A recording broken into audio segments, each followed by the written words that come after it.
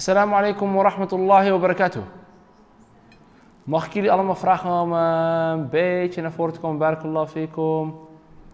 Jazakallah khairan. Gewoon in de rij te gaan zitten. Jazakallah khair. Mogen Allah voor jullie houden. Wanneer je een actieve zitrol inneemt, dan zul je ook op een andere manier leren. Inshallah ta'ala.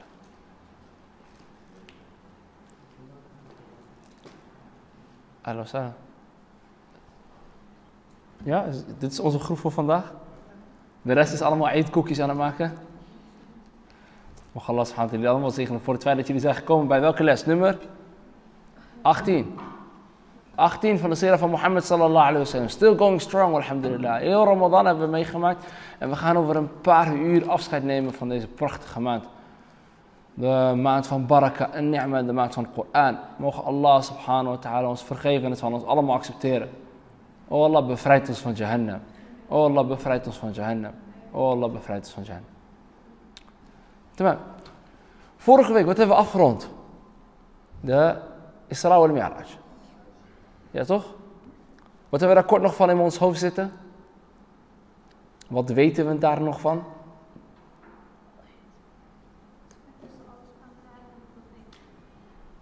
Allah subhanahu wa ta'ala heeft wat? Het gesprek tussen Allah subhanahu wa ta'ala en Rasulullah sallallahu alayhi wa sallam. MashaAllah. Wat weet je nog meer van Isra wal Mi'raj? Ah, de laatste twee ayara- eh, ayahs van Baqarah waren daar geopenbaard. Daar, bij Sidratul Muntaha. Wat nog meer? Nee? Niet iets wat jullie vijf keer per dag moeten doen of zo? Het gebed. Nou, dat is opgedragen. De profeten die we zijn tegengekomen. Welke profeten heeft de Rasulullah sallallahu alaihi wasallam gezien? Musa, Isa, Ibrahim, Yahya, Adam. Nee. Hele knappe profeet. Mashallah. Yusuf. Nog eentje? En nog twee. Idris en Harun. Weet iemand nog op welk niveau hij Harun tegenkwam? Nee? Dat was op de vijfde, vijfde sama. In de vijfde sama kwam hij Harun tegen. Mogen Allah subhanahu wa ta'ala tevreden zijn met alle profeten. Allahumma amin. Rasulullah sallallahu alayhi wa sallam is nu terug waar? In welke stad? In Mekka. Ja toch? En in Mekka, wat heeft hij gedaan? Hij heeft verteld over deze grote ni'ma, deze grote zegening van Allah subhanahu wa ta'ala. En wie kwam hij tegen daarin? Abu Jahl. Abu Jahl was de eerste die Rasulullah sallallahu heeft aangehoord. En hij zei, wacht even. Wacht, ik heb je nog nooit zoiets onmogelijks, raars, geks horen zeggen. Ik ga heel Quraysh bij elkaar verzamelen en als je een man bent, herhaal je wat je hebt gezegd, ja Mohammed. Rasulullah sallallahu alaihi wasallam, schaamt zich niet voor de waarheid. Alhoewel hij, alhoewel hij wel in een ongemakkelijke positie is gezet. Ja toch? Want in één keer is daar heel Mekka bij elkaar gekomen, verzameld, om hem te ondervragen over Betul Maqdis. Om te vragen over het Haram al-Sharif.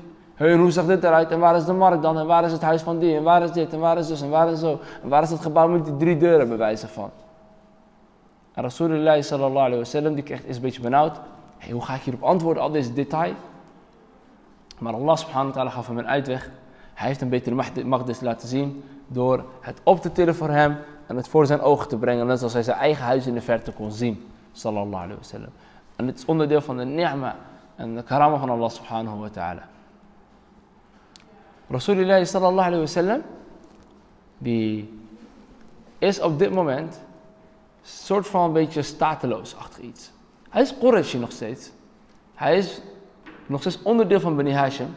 Lakin, hij wordt niet meer beschermd door Bani Hashim. Waarom niet meer? Want wie is er overleden? Zijn oom Abu Talib is overleden. En nu Abu Talib is overleden, is de permanente bescherming, de onvoorwaardelijke bescherming weg. Zijn andere oom Abu Jahl besloot om, nu hij de verantwoordelijkheid heeft gekregen voor Bani Hashim, ook op Mohammed sallallahu alayhi wa te letten. En hij zei tegen hem, ja Mohammed, doe zoals jij gewend is. Niet Abu Jahl, wat zeg ik? Astaghfirullah. Abu Lahab. Let jullie wel op met mij. Abu Lahab besloot de plaatsvervangend van zijn broer, hè, Rasulullah sallallahu alayhi wa sallam, toch te beschermen. Zeggen, ja Mohammed, doe zoals jij gewend bent in de tijd van Abu Talib. En Abu Jahl vond dat niet leuk. Abu Sufyan vond dat niet leuk. Uqba vond dat niet leuk. Al-Walid vond dat niet leuk. Allemaal hadden ze een plan gesmeed om um, Abu Lahab te overtuigen niet meer Mohammed sallallahu alayhi wasallam te steunen en te helpen te beschermen. Ze zeiden tegen hem, vraag hem wat er is gebeurd met jouw vader Abdul Muttalib. En hij kwam naar Rasulullah en zegt, ja Mohammed, wat is er gebeurd met Abdul Muttalib? Rasulullah sallallahu alayhi wasallam die zei, hij is met zijn mensen, zijn volk. En hij dacht, oh, Abdul Muttalib is een goed mens, dan is hij vast met goede mensen. Hé, hey, prima. En Abu Jahl zei tegen hem, je bent echt dom. Echt dom. Hij bedoelt hiermee, hij is in Jahannam. En toen Abu Lahab dat hoorde, zei hij, ik bescherm jou niet langer. Bani Hashim heeft niks met jou te maken. En Rasulullah sallallahu alaihi wasallam wordt op dat moment opgevangen door Mut'im ibn Adi. Mut'im besloot om Rasulullah sallallahu alaihi wasallam bescherming te geven. En Mut'im is zo vaak geprijsd door Rasulullah sallallahu alaihi wasallam. Dat komen we nog tegen tijdens Badr. Heeft Mut'im gezegd, heeft Rasulullah sallallahu gezegd over Mut'im. Als Mut'im was gekomen en mij had gevraagd om al deze gevangenen vrij te laten, had ik ze allemaal vrijgelaten. Puur naar die omdat het zo'n goed mens was. Compliment van Rasulullah. Mocht Allah subhanahu wa ta'ala ons uh, in de status verheffen, verheffen. Allahumma amin. Mut'im besloot hem te helpen, maar Rasulullah sallallahu alaihi die wist wel dat het niet zo lang door kon gaan. Want van welke stam is Mut'im stamhoofd? Van Banu Makhzoom. En daar zit Abu Jahl bij. Abu Jahl is ook een sleutelfiguur binnen Banu Makhzoom. En Abu Jahl, die denkt, ja dag, Bani Hashim laat hem eindelijk gaan en nu is mijn stam de beschermer. Ja, dit kan niet. Dit gaat niet gebeuren. Maar hij kon er niks aan doen. Rasulullah sallallahu die was op dit moment bezig om uh, hè, een stam te recruteren om hem adoptie te verlenen. Om hem te nemen als onderdeel van zijn stam. En Rasulullah sallallahu alaihi wasallam kwam bij een aantal stammen uit, waarvan één van de stammen, één van de stammen, ja, want het gebeurt allemaal, ik ga even, het eens even voor jullie schetsen. Allah. Iedereen is een beetje moe, ik zelf ook, dus sorry voor het energietekort. Bidnillah. Een van de stammen, die kwam Rasulullah sallallahu alaihi wasallam tegen door met een van hun te spreken. Een van hen te spreken, een zo'n jongeman die een van de sleutelfiguren is. En dat gebeurde tijdens de hajj. Want tijdens de hajj ging Rasulullah sallallahu wasallam naar Mina. Naar waar alle uh, mensen volkeren leveren voor degene die op hajj gaat. Tot de dag van vandaag is Mina verdeeld in kampen. Daar heb je de Amerikanen, daar heb je de, per, uh, de ja de niet meer. Daar heb je de Amerikanen, de Britten, de Spanjaarden, de Duitsers, de Marokkanen, Tunesiërs, kende ook Je hebt ze allemaal zitten en verdeeld in Mina. En Mina is dus de standplaats van de Hajj waar mensen tent op zitten, tentenkamp. Nu, Rasulullah zegt nam Abu Bakr radiallahu anhu mee. En Abu Bakr vertelde hem altijd, ja Rasulullah, dit is die en die, deze en deze stam. Dit is wat je van hen moet weten. Dit is waar je echt bij hen op moet letten. En dit zijn de goede punten en dit zijn de negatieve punten. Want Abu Bakr was een specialist, radiallahu anhu, op het gebied van genealogie. Hij was een specialist. En er zijn sommige mensen die niet snappen dat een profeet van God nog steeds hulp zoekt bij zijn sahaba. Maar Rasulullah is alwetend als het gaat om wat Allah hem geeft. Qua dien. Weet hij alles. Onafhankelijk van de mensen. Wanneer het gaat om dunya. Wanneer het gaat om dunya dan neemt hij wel de hulp van zijn sahaba aan. Want die vormen uiteindelijk ook het intellectuele uh, aspect van de umma. Yani. Niet iedereen kan zich specialiseren op twintig velden. Je kan niet een arts worden en een groot econoom. Je kan geen zakenman worden en leraar tegelijkertijd. Ja, nou ja, misschien, misschien Shamsuddin wel, maar uh, anderen niet. Wallahu a'lam. Allah subhanahu wa ta'ala gaf hem dit inzicht. Tijdens een eerder moment in de sira dat hij zal gaan verhuizen en zal immigreren. Dus Rasulullah weet nog steeds niet wanneer dit gaat gebeuren. Dus wat gaat hij doen? Hij gaat niet wachten op een wahi. Hij gaat zelf aan de slag en doet wat hij moet doen. Hij gaat langs deze tenten en hij begint te praten met de mensen. En hij vertelt ze eigenlijk in ayah. En deze ayah vind je een soort al-fal. أو شيك اخت اسمها استقيه نغنيت يو ما شاء الله آه السلام عليكم بخير أهلا وسهلا تقيكيه ده آية يعني سورة أنفال تعالوا إلى اللهم صل على محمد شيخ كوفيت أنا ورد بفاض أحكام ورد بس بروكا نعم سورة أنفال إذن آية die tijdens sommige godba ook wordt gebruikt. Een stukje van die ayah wordt ook gebruikt tijdens godba. Best een lange ayah. En er worden, of ayat zelfs.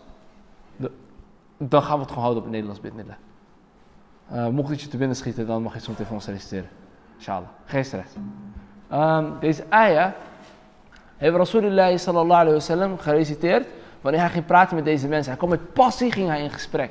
De eerste stam bij wie hij terecht kwam, en ik ga je alle namen besparen, want die gaan je toch niet onthouden. De eerste stam bij wie hij terecht kwam, die zei tegen hem, we zijn een sterk volk. En we kunnen alle Arabieren aan. En wij zijn bereid, wij zijn hartstikke bereid om jou te steunen, o Mohammed alaihi wasallam. Om jouw religie te adopteren. Want hiermee kunnen we de andere Arabieren helemaal in de hoek drijven. We kunnen het helemaal overnemen. En wij gaan de zittende macht zijn. En wij zullen jou steunen hierin, ja Mohammed. En ze zeggen echter, het is onze vraag. Dat wij, jij bent onze leider. Jij bent degene die alle macht in handen heeft zolang we met jou zijn. Maar wanneer jij bent overleden en jouw tijd voorbij is, gaat de macht wel terug naar onze stam.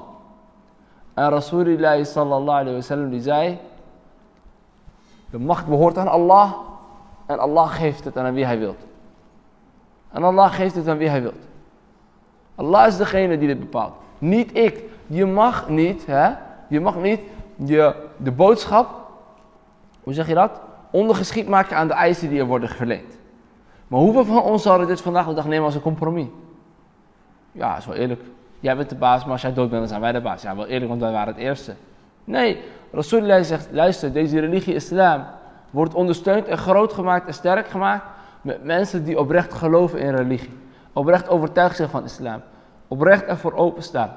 Ditzelfde zie je met alle profeten, dat ze maar als een klein volkje hadden, een klein gedeelte van hen hadden, dan was hun da'wah ook sterk. Vandaag de dag hebben we medahib. Vier medahib. Kennen we de medahib nog? Hanafi, Maliki, Shafi'i, Hanbali. Deze vier madahib we zijn afkomstig van vier grote du'aat, vier grote docenten. Die hebben hun studenten onderwezen. En hun studenten waren kwalitatief sterk genoeg en vakkundig genoeg en, uh, nauwkeurig genoeg om die madhab met usul, met basisfundamenten, mutawatir, oftewel met verschillende kettingen te overleveren. Volgen jullie wat ik zeg? Het was de kwaliteit van de studenten dat het op deze hoge belangrijke schaal is overgebracht van leraar op leerling, op leerling, op leerling, op leerling, tot die vier vier wetscholen die we vandaag de dag hebben. Je hebt niet veel mensen nodig, maar ze moeten oprecht zijn en overtuigd zijn en willen excelleren. Dus Rasulullah sallallahu alayhi wasallam sloeg dit aanbod af. Hij sloeg dit aanbod af. Daarna kwam hij bij een andere stam.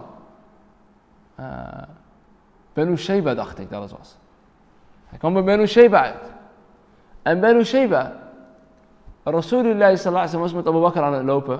En hij vroeg een ja, Abu Bakr. Wie zijn dit? Volgens mij, ma was de vraag dat werd gesteld. Ma. Van wie horen jullie? Waar komen jullie vandaan? En toen zei hij, de man, die zei, wij zijn van Benu Sheba. En Abu Bakr zei, ja Rasulullah, dit is een volk met heel veel intelligentie. Ze staan heel erg hoog aangeschreven. Dit zijn al hun pluspunten. Dit, dit, dit, dit, dit, dit, dit. En het is een volk dat goed nadenkt en kan overwegen. En Rasulullah sallallahu alaihi wasallam besloot in gesprek te gaan met hun. Hij zei, ik heb iets gekregen, een openbaring. Mag ik jullie hier wat over vertellen? En hij begint gewoon aan te lezen. En zodra Rasulullah sallallahu alaihi wasallam klaar is met het lezen van het Koran, dan besluiten deze mensen om het volgende te zeggen. Ze zeggen subhanallah. Jouw volk heeft echt gelogen. Want ze zeiden, ze hadden ons gewaarschuwd tegen een man die allemaal rare dingen aan het zeggen was. Abu Jahl liep letterlijk achter Mohammed sallallahu alaihi wasallam aan tijdens de. En hij zei, dit is ons gekke neefje hè. nu te veel naar hem luisteren, hij kan er niks aan doen. Hij praat maar onzin. Moet je het voorstellen. Rasulullah sallallahu vader kwijt, moeder kwijt, opa kwijt, oom kwijt, vrouw kwijt, kinderen kwijt. Nog maar een paar kinderen heeft hij. Mocht Allah subhanahu wa ta'ala rahma op de familie van Mohammed sallallahu alayhi wa sallam. En nu wil hij eindelijk zijn da'wah sterk zetten. Wil hij iets opbouwen en achterlaten. En wil hij zijn umma, ons redden van Jahannam. En er is iemand die continu achter hem aanloopt en die zegt tegen hem, oh, is mijn gekke neefje niet naar hem luisteren. Mocht Allah vervloeken, Abu Jahl. Amin. La'na ala Abu Jahl. Het is de vrouw van ons omma. Dus schroom je niet. Zeg gewoon la'na ala Abu Jahl. Amin. Echt waar, die man heeft verschrikkelijke dingen gemaakt. Verschrikkelijk gewoon. Rasulullah sallallahu raakt zijn zoon kwijt. Zijn zoon gaat dood. En hij komt gewoon met haha Mohammed. je hebt echt gewoon geen nageslacht zometeen. Gaat hij lachen. Wat voor zieke mensen gaat er lachen als jouw kind dood is? Allah ya Rab. Mocht Allah subhanahu wa ta'ala ons allemaal standvastig maken. Allah. Dus Rasulullah sallallahu alayhi wa sallam komt weer met dezelfde overtuiging naar deze mensen. En hij begint het te vertellen. hij begint het te vertellen over uh, de da'wah. Wat heeft hij gekregen van Allah? Wat wil hij mededelen? Waar gaat deze islam nou eigenlijk over? En de eerste van hun die hem heeft uitgenodigd daarna, heeft gezegd: Beste mensen, deze boodschap klinkt goed. Hier hebben we wat aan. Maar ik verwijs jou door, ja Mohammed, naar een van onze grote verantwoordelijke, politicoloog, Fulan. Hij zit naast mij, hij gaat over deze zaken. Wat valt je op? Deze man geeft niet zomaar zijn mening en zegt niet zomaar, oké, we gaan het doen. Hij wil erover nadenken. Wie van jullie heeft de honger? Wie heeft de honger? Niemand? Allah, ik heb honger. Allah, help ons. Als ik nu eten aangeboden krijg, ga je niet nadenken of ik wel of niet wil eten zometeen. Hey, wil je dit, wil je Subway of wil je Kedda, wil je Kedda, wil je... Geen sponsor, by the. Voor de mensen die denken, ik krijg geen Subway money. Ik wil het wel. Dus als iemand iets kan regelen, bel mij inshallah. Tamam. Nee, ik zal gewoon pakken wat ik pakken kan. Deze mensen echter beseffen zich dat ze iets heel belangrijks in handen hebben, maar ze zijn geen, uh, ze zijn geen ongeletterd volk. Ze zijn een groep mensen die goed na kunnen denken, die wijsheden hebben. Dus zij roepen de minister erbij, om het even zo te zeggen. Minister, wat denk jij? De minister zegt, luister, we zijn met een kleine delegatie gekomen. We hebben niet veel mensen van ons volk bij ons. Wat jij zegt klinkt goed, klinkt mooi, ja Mohammed. Echter, ik wil met mijn mensen terugkomen, want ik heb hun mening nodig en hun steun nodig. En ik wil dan gezamenlijk met elkaar een keuze gaan maken of we dit gaan doen, ja of nee. Maar ik adviseer je ook om nu te spreken tegen onze militaire leider. Dus de militair staat op. Hij zegt, we zitten in een lastige situatie. We hebben twee verdragen. We hebben een verdrag met de Arabieren en een verdrag met de Perzen. Voor het geval met de Arabieren, als ze stoer komen doen, we kunnen hun aan. We hebben genoeg in huis. Als het gaat om de Perzen, kunnen we je niet helpen. Dus we worden half moslim. Als de Arabieren er zijn, zijn we moslim, mashallah. En als de Perzen er zijn, zijn we neutraal. Want dat is onze afspraak met de Perzen. We mogen niemand joinen, we blijven neutraal. Subhanallah. Allah, echt mogen Allah ons helpen. Ja, Allah geeft ons energie. Ja, Allah, ja. Echt. Voelen jullie ook zo moe? Gewoon helemaal uitgeput dat je botten moe zijn? Echt gewoon. Elke dag hier. Allah, ik hou van de moskee. elke dag. Tot vier uur s ochtends. Allah, Allah. Oh Rabbi, help ons. Ik moet even wat meer... Jullie moeten even mee gaan doen, oké? Even, ja, anders ga ik echt inkakken, dan uh, kan ik niet meer praten zo meteen. Dus, houden wij van Allah? Houden wij van islam? Ja, Allah. Allah, mijn barakallah ik voor de... meedoen. Astaghfirullah. Je moet echt betere leraar zoeken volgend seizoen. Uh, dus Rasulullah sallallahu alaihi wasallam, die luistert verder naar het verhaal van deze militair. Die militair zegt dus, we kunnen je niet helpen met de Perzen.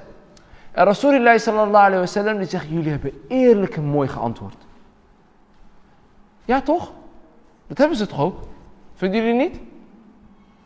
Ze hebben mooi en eerlijk geantwoord. En ze doen ons hun best om te kijken, begrijpen we dit? Kunnen we het accepteren?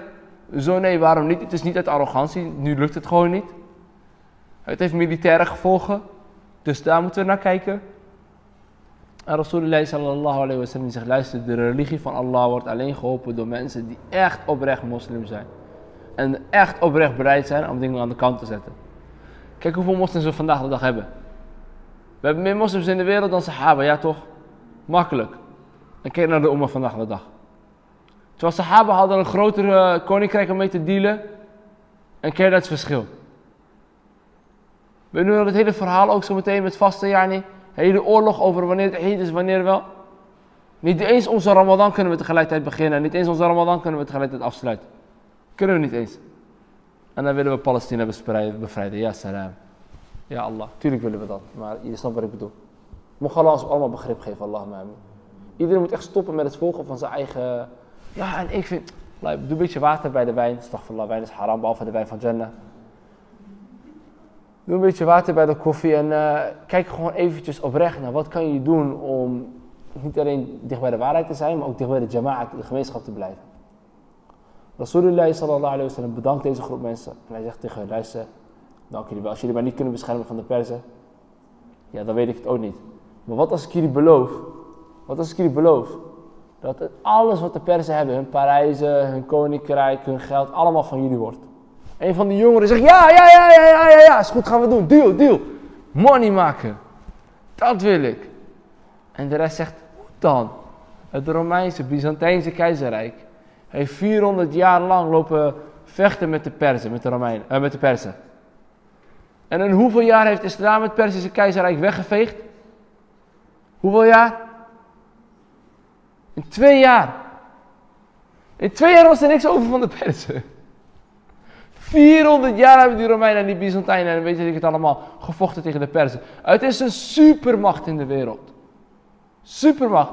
Irak, Iran, Pakistan, uh, uh, je had uh, Afghanistan enzovoort, veel verder. Het was gigantisch. Gigantisch. En islam komt in een twee jaar tijd hele keizerrijk uit elkaar gescheurd. Rasulullah sallallahu alayhi wa sallam die heeft een brief geschreven. als hij heet Nimrod toch? Huh? Nee, Kisra. Kisra.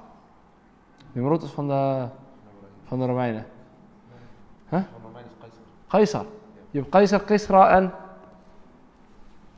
Ja, Najash heb je ook. Ah, tamam van Jemen. Zo zie je maar, ik leer ook elke keer weer. Dus we hebben het nu over Kisra. Kisra. Kisra. Rasulullah sallallahu alayhi wa sallam stuurde een brief naar hem van Mohammed sallallahu alayhi wa sallam naar de leider van de Persen Kisra. Bismillahirrahmanirrahim. Aslim taslam. En Kisra toen hij dit hoorde, is zo gigantisch boos geworden. Wat heeft hij gedaan? Hij heeft de brief kapot gescheurd van Rasulullah sallallahu alayhi wa sallam. Heeft hij toen ook deze leider uh, Of was het iemand anders? Nee. nee? Hij heeft de brief kapot gescheurd. Rasulullah sallallahu alayhi wa sallam zei, hoe hij mijn brief heeft gescheurd, zo zal Allah zijn keizerrijk en zijn koninkrijk uit elkaar scheuren. En wallah, het is gebeurd. Twee jaar na het leven van Rasulullah sallallahu alaihi wasallam was er niks meer over van deze mensen. Helemaal niks. En islam kwam niet overnemen om landjepik te doen. Nee, islam kwam overnemen om mensen hun vrijheden terug te geven. En subhanallah, toen de moslims daarheen gingen, toen begon Kisra te lachen. Hij zegt, alsjeblieft, ga gewoon naar huis. Ik weet het, heel leger hier voor mijn deur. Ja, toch. Knap van jou, toch? Ga gewoon lekker naar huis, ga buiten spelen. Ik vergeet wel dat je hier bent geweest. Heel arrogant was hij. Alleen de moslims zeggen, wij gaan nergens heen. Wij komen hier om de mensen te bevrijden. Van het in slaaf zijn van mensen en dingen. Naar de slavernij van de schepper van mensen en dingen. En zo wilden zij een steentje bijdragen. Zo wilden zij verder gaan. Zo wilden zij de wereld vanuit donker naar licht brengen. Subhanallah. Rasulullah sallallahu maakte deze belofte. Echter kon deze stam, Banu Sheba, niet accepteren. Rasulullah sallallahu alaihi wasallam zei, laat maar. Hij is op dit moment zonder Abu Bakr. En hij is continu weer op zoek naar een andere stam mee te praten. Continu weer op zoek om met iemand anders dit, voor, dit voorstel voor te leggen. Aslim taslim. En wat komt de Rasulullah sallallahu ziet? Zes mannen daar zitten. Ze hebben niet eens een tent, hè. En hij loopt naar hen toe en zegt, wie zijn jullie? Mag ook. Ze zeggen, wij zijn Al-Khazraj. Hij zegt, welke Khazraj? Khazraj, buren van de Yahud? Buren van de Joden in, in? En ze zeiden, naam, wie zijn wij? En hij zei, mag ik met jullie praten? Mag ik jullie iets vertellen? En ze zeiden, ja, kom verder. Ga maar zitten. En Rasulullah sallallahu alayhi wa sallam, die begon te praten tegen ze. Rasulullah sallallahu alaihi wasallam begon met dezelfde passie tegen deze zes random mensen te praten. En dit was waarop zij aan het wachten waren. Want Al-Ghazraj had veel vaker problemen met de Joodse gemeenschap in Medina. Je had twee grote stammen, Al-Aus en Al-Ghazraj. En er was een burgeroorlog gaande voor tien jaar lang. In deze burgeroorlog zijn alle oudere stamhoofden die leiderschap hadden overleden, behalve eentje, Abdullah ibn Ubay ibn Sulul. Alle andere leiders waren overleden, vermoord. En er was een bloedbad ontstaan. Beide kanten waren vaders, moeders, kinderen, alles kwijtgeraakt. En de Joden zeiden altijd tegen hun, de Joodse gemeenschap van Medina, zei tegen hun, wacht maar tot onze profeet komt. We laten niks over van jullie. Jullie allemaal pakken we. We gaan de straten schoonvegen van jullie allemaal. Jullie komen hier niet meer in. En subhanallah, kijk hoe Allah subhanahu wa ta'ala praat over in de Koran. Allah zegt, zij zeggen, wacht maar tot de profeet komt. De boodschap is gekomen en nog geloven ze niet. Allah. Mocht Allah ons vergeven, Allahumma amin. En begrip schenken, Allahumma amin. Nu, deze oorlog was gaande. En de Joodse gemeenschap zei dit. Je kon niet zomaar Jood worden, mensen. Je kon niet zomaar Jood worden, want de Joden waren ook nog een beetje aan het pesten. Hè? Wij hebben een boek, wij hebben theologie, wij hebben dit, wij hebben dat. Jullie bidden voor stenen, beelden, dit, dat, dat. We gaan jullie, uh, uh, uh, helemaal kapot maken, bla bla bla bla. Nu wilde het zo zijn dat Allah subhanahu wa ta'ala dit de reden heeft gemaakt dat de Ghazraj onder andere open stond om bay'a te geven aan Rasulullah sallallahu alaihi wasallam. Dat noem je al-aqaba, de eerste bay'a. Kleine bay'a. Zes mensen. Ze accepteren, ze willen dit heel graag. En ze spreken af met de Rasulullah sallallahu alaihi wasallam om hier een jaar later op terug te komen. Maar om eventjes te schetsen, wat is er nou aan de hand in Yathrib? Zoals ik jullie zei, is in Yathrib bijna alle vormen van gezag en leiderschap zijn dood. Al die mensen leven niet meer, behalve Abdullah ibn Ubay ibn Sulul. En hij had dus ook het idee in zijn hoofd, met, nu is het mijn recht om Medina te erven. Want mijn voorvaders hebben hier gebeden. Voor de rest is niemand meer haven hier. Dus ik wil de eer om... Sorry? Excuses, wacht even hoor. Ik raak een beetje in de war volgens mij. Ja toch?